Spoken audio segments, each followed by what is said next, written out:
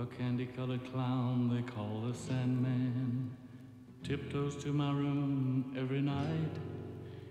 Just to sprinkle stardust and to whisper, Go to sleep, everything is alright.